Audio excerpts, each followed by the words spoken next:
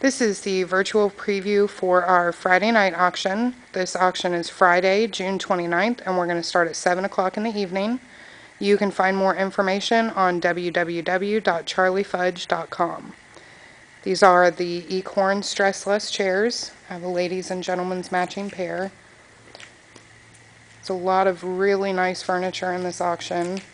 Some great dealer lots, as you can see, all of those are box lots.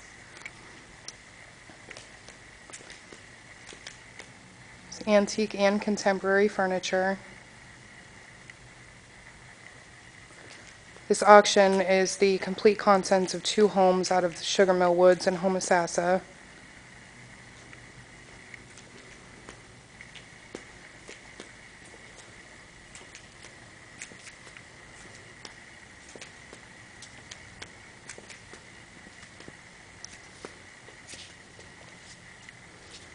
If you need additional information or you'd like to make seat reservations, you can contact Amy.